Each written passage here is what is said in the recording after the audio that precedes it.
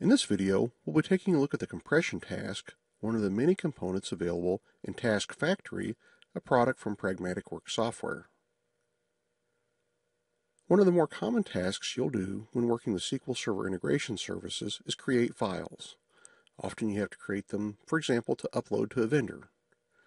In this demo package, I have a data flow task. The data flow task has two components. The first component reads data from a file, if I open it up, you can see it's a simple select statement, has two columns, ID and info. And if I do a preview, you can see it's just pretty simple data. This is just some test data where I had uh, an ID column and then I had uh, a text column which just says item and then the ID padded out nicely. This is just to give us some data to work with. You can see the script to set that up here where I create the table and then I populate it. Returning here to the demo, you can see I've got an output file which sends it to my flat file connection manager, which I've defined here. And it simply sends the file out to a specific folder on the hard drive. You can see here, I don't currently have any files in that folder. And after running the package,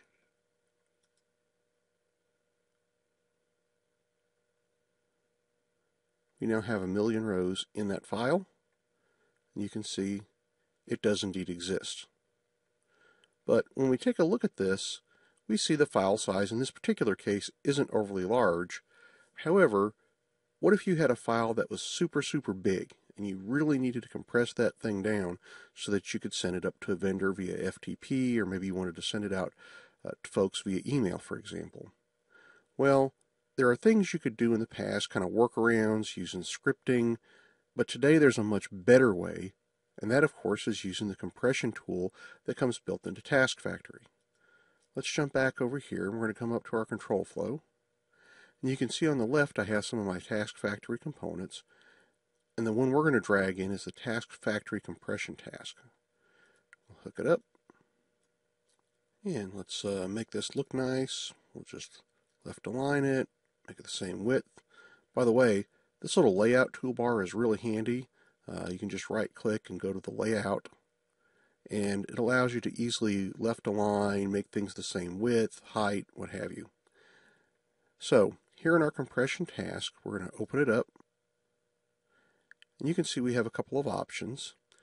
Not only can we compress files, we can uncompress them. So we could go either way with this. It then asks us well, where's the file at that we want to compress? We can store that file name in a variable, or we can use a connection manager. Since we already have a connection manager set up, we'll use it. Down here, we have more options for the destination file. We can have the file name stored in a variable, we can use a destination connection manager, and we can choose to overwrite the destination file, which I'll do here. We'll pick our connection manager by creating a new one create a new file connection. And we're going to tell it we want to create a file. And the file will create, this is the folder I've got it set up for. And we'll call this output from connection manager.zip. We'll click OK. Now if we come up here to the Advanced tab, you can see I have different compression types I can pick. Zip, gzip, BR2 in Z format, and we'll just go with the standard zip. And for zip files, we can also set things like the compression level, uh, passwords. We can even opt to create a self-extracting exe if we want to. For now, we'll take this and go OK. And now if we run this,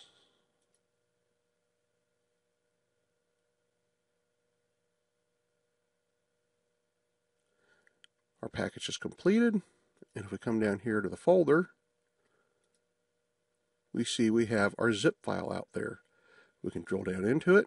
You can see there it is from within Windows. I can open that file up from a zip utility such as 7z. And there it is open in 7-zip. And it's just a standard zip file that we can then turn around and send to somebody. I mentioned that you could create files using either a file connection or a variable. Down here I've got a variable set up and I've given it the name output from variable. Let's change our compression task to now use the variable for the output. I'm going to come over here and click on destination stored in variable. Now it asks me to pick that variable name out. And I only have one output file. I can also take the opportunity to create a new one here if I want to. So we'll just click output file and we'll click OK. And now when I run this,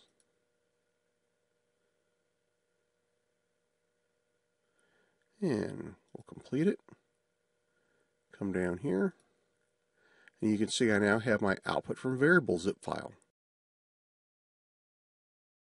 The cool thing about being able to use variables or the output destinations is you can easily manipulate that to whatever you want it to be. Especially variables are extremely easy to just pop into a script task.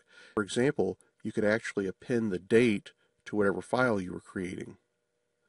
When you have a need to compress files, the Task Factory compression task is by far the easiest way to get your files compressed down to a compact format for storage, emailing, FTPing, or whatever it is you need to do. To learn more about the Task Factory components, visit us at pragmaticworks.com.